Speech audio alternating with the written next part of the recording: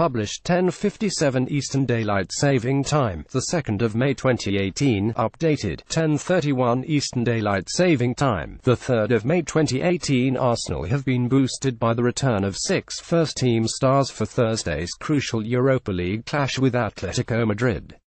Mesut Ozil, Jack Wilshere, Alexandre Lacazette, Aaron Ramsey, Laurent Koscielny and Shkodran Mustafi were all rested for Sunday's 2-1 defeat at Manchester United. But all of them were pictured boarding the flight from Luton Airport to Madrid on Wednesday as Arsene Wenger looks to bow out with one final trophy. Arsenal duo Danny Welbeck left and Jack Wilshere make the way towards the team plane. Mesut Ozil is one of a number of big names back in the squad after missing Arsenal's last game. Laurent Koscielny left and Aaron Ramsey are also available after being rested.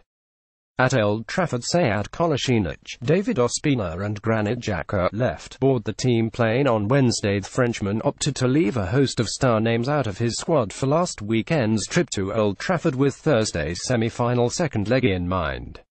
Arsenal were held to a 1-1 draw at the Emirates by 10-man Atletico after Antoine Griezmann pounced on an error by Koscielny to score late on in North London. But Wenger's hopes of reaching the final in Lyon and securing Champions League football in the process were improved when all six players were deemed fit to travel to the Spanish capital.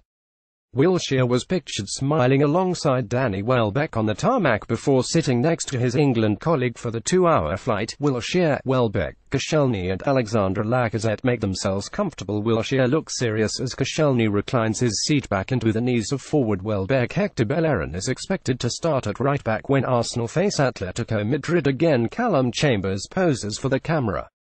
As he makes his way onto the plane at Luton Airport Ozil, Ramsey and Koscielny were also on board, with Lacazette, who opened the scoring in the first leg, looking relaxed in a black cap and club hoodie. Thursday night's game could be Wenger's last European match in charge of Arsenal, with the 68-year-old departing at the end of the season after 22 years in North London.